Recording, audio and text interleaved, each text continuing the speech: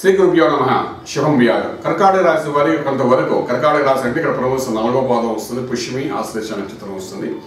ఈ నక్షత్రం వారికి రా- రాశిలోనే రాహు అనే గ్రహం ఉండడం సప్తమంలో కేతు ఉండడం చతుర్థంలో గురుడు ఆత అష్టమ గురుడు ఉండడము పంచమంలో కుజుడు ఇవన్నీ కూడా కొంతవరకు సస్యస్థానంలో శని ఉన్నప్పటికీ కూడా మిగిలిన గ్రహాలన్నిటి విషయంలో కూడా కొంతవరకు బలహీనంగానే కనిపిస్తున్నాయి.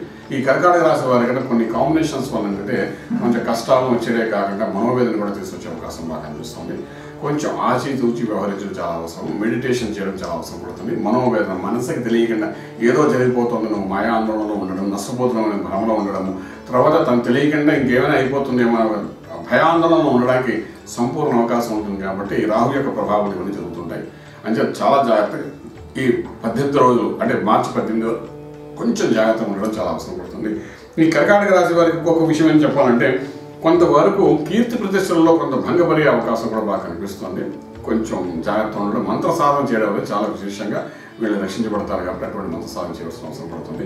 కర్కాటకానికి చంద్రుడు అధిపతి ఉండడం భాగ్యాధిపతి గురుడే ఉన్నాడు కాబట్టి అటువంటి భాగ్యాధిపతి బలహీనంగా ఉన్నాడు కాబట్టి రావాల్సిన భాగ్యం అంటే ఏదైనా ఎక్స్పెక్టేషన్ చేసే భాగ్యం ఏదైతే ఉందో అది రాకుండా మధ్యలో ఆగిపోవడం దానివల్ల మనోవేదన కలగడం ఇటువంటివన్నీ కూడా ఒక వ్యాపారస్తుడే కానీ ఉద్యోగస్తుడు కానీ వీళ్ళందరూ జరిగే అవకాశం ఉంది.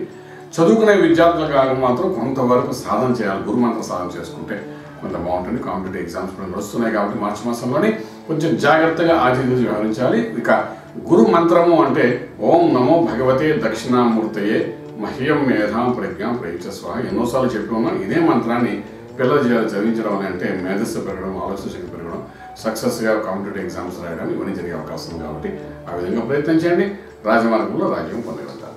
శుభం వ్యాతం